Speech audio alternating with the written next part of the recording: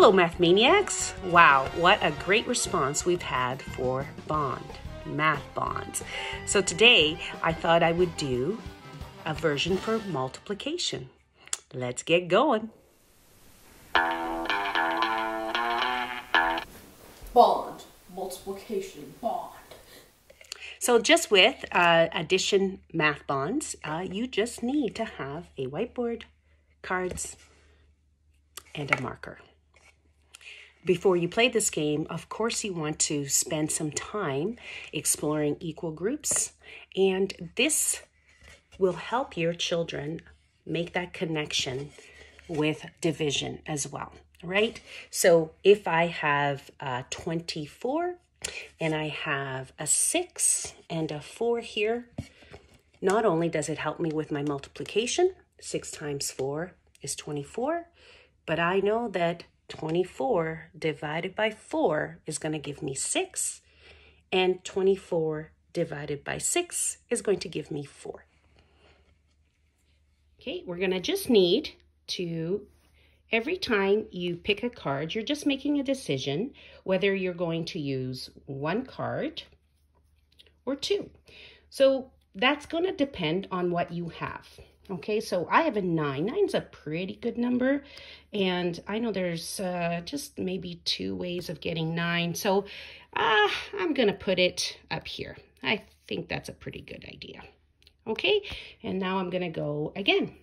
And oh, this time I have an eight. Now, I can't put an eight here because I know nothing eight groups of something is never going to give me nine. So I might just put eight over here. So I'm going to do that. Here we go. Now the next number I pick, I'm looking at it. Mm, uh, I don't really want to put another 9 there. So I'm going to decide to make it a product. So now I'm going to get a different card, another card that I can multiply to 9. Oh, and I've got a 6. 9 times 6 or 9 groups, equal groups of 6 gives me 54. So that's a pretty good number. So I'm going to put it up Oh, no, not up here because 8 times, that's not going to give me anything. So I'm going to put 54 right there. Beautiful. Now, my turn to go again. I make a decision. Ooh, a 3.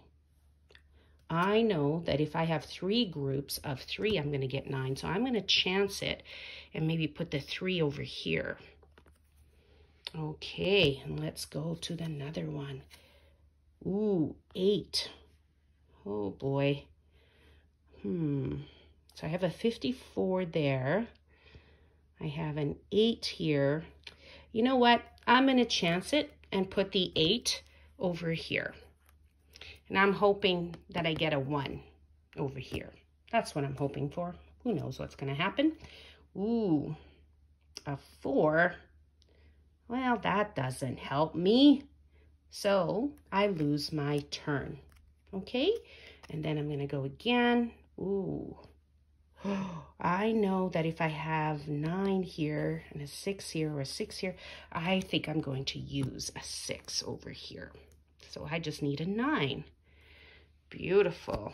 Okay, hopefully this makes it. And it's an eight. Oh, darn it. I lose my turn again. And ah, I got a three. Three equal groups of three gives me nine. So I have a bond, a math bond. So that's one way I've modified uh, math bond for multiplication, but I am sure that there are many different ways that you can modify it to make it more challenging uh, for the students that you have in front of you. So give it a try. Let us know how you did, and we would love to hear your feedback. Thanks. Have fun with this one, guys.